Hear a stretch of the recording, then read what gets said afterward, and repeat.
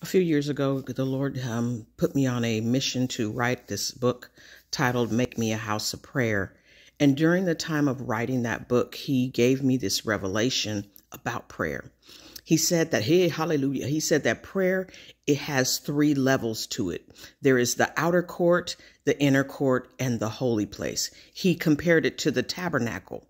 And he said, most of the time we spend praying in the outer court area where we're dealing with our flesh, where we're dealing with our needs, where we're dealing with me, my, and I.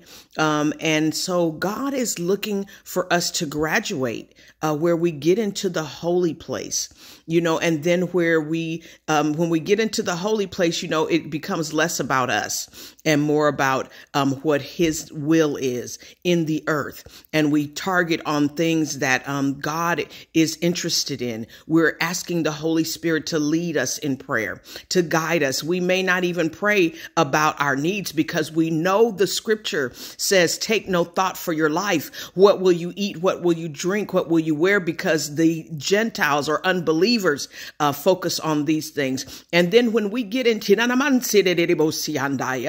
Oh, and then when we graduate to the next level, the third level, then we can have immediate access to the presence of God and do quick requests. Uh, we see quick turnarounds, quick answers to prayer. Quick th- things happen very quickly because we're in a constant flow of His presence. Um, we learn how to pray without ceasing. Our spirit man turns into that house of prayer where we're constantly and continually in the face of the Lord, constantly um, um, reminding ourselves that we're His vessels and worship is not not a um not a standby thing, but it's a continual practice. So we got to press ourselves to graduate from our needs, our fleshy needs. God will take care of us. If we take care of his business, he will take care of ours. You can, you can take it to the bank. It's guaranteed. God will not lie and he is true to his word. The righteous will never be forsaken nor his seed beg bread.